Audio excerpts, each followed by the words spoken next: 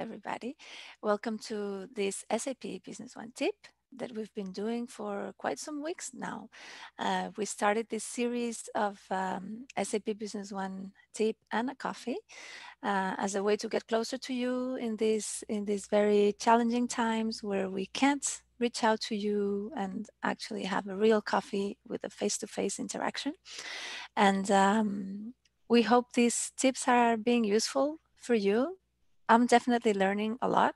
I've, I've said before uh, that I'm not a consultant. My name is Clara Custodio. I lead customer experience here at uh, Consensus International. We're an SAP Business One Gold partner in North America. And um, and uh, but what what I've been doing is organizing customer days for many years now, and uh, interacting with customers and uh, and with our consultants as well. And I am a user uh, of the system, so um, I'm sharing the tips that I've seen uh, customers like the most in our in our customer days, or that I have enjoyed uh, the most as a user of SAP Business One, and um, Today, uh, I'm going to share a tip on, um, on queries, uh, on the system queries that come by default with SAP Business One, because it's been a recent discovery for me.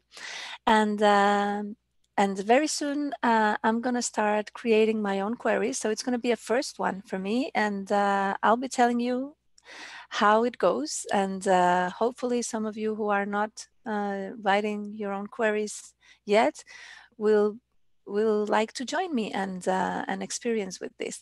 So let's let's jump right into the contents of today. And uh, today, basically, uh, what I want is for you to be able to uh, access the queries that already come with SAP Business One. You might not see exactly the same queries that I'm going to show you today, and you might not have access due to authorizations. Um, remember that uh, SAP Business One has an authorization uh, scheme uh, behind.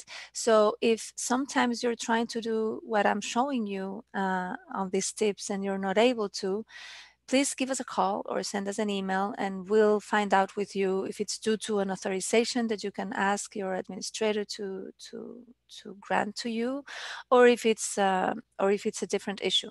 But um, the queries that I hadn't worked with before but I'm discovering now it's uh, you just click on tools then you go to queries and then you have your query manager here and again, you might see a slightly different window because in your company, you might already be writing queries or someone in your company might already be writing queries. So you might have other categories here, uh, but this is what comes with the system.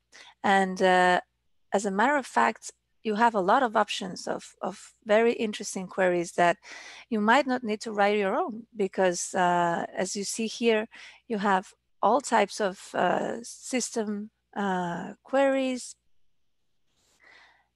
different different uh, different queries in these menus. I would recommend that you get familiar with them with them and you see if there's anyone there that you can use and it can maybe help your work. Uh, you can here in the query name you can search and it's a very uh, user-friendly uh, type of search field. You can, for instance, if you wanna you wanna see queries that include customer uh, customer information, then you just type in customer and you see it's going to give you already the, the filter of the queries that include that word. Uh, there are a couple of queries that that list the top five in something. You just click on top five and uh, and there you go. Or you might be interested in seeing a query that shows you open open something, open invoices, open deliveries. If you only type in open, it's going to show you all, all the, the queries that include that word.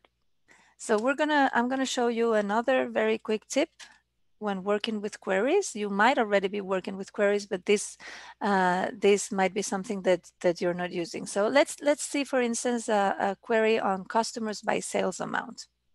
You choose that query and you click OK. And it's already going to show you the result of this query. This is a very simple query with only the customer code, the name, and the sales amount. So you, once you're in this query, you can filter as you can do with other reports or forms in SAP Business One. So let's say that we want to filter by customer name and we're going to choose Mason. We only want to see the sales amount for this one customer. So we can filter here. And this is going to show you the same query, but only for this customer. And the tip that I want to share with you today that I very recently learned is that uh, once you have a result of a query with a with a numeric type of column, you there is no the sum of the column is not here like it would be on an Excel file. And uh, I've I've I've done this before. Uh, I used to export this to an Excel file to in order to to add the total amount. But actually there is a very simple way to summing up uh, total columns and, uh, and you just need to hover and click on the sales amount while at the same time pressing the control button on your keyboard. So I'm gonna do just that and you see right there we have the total for this query. So that was it uh, from me today. And um, please let me know on your comments or send me an email if you find any query that it's useful for you and you didn't know that it was here.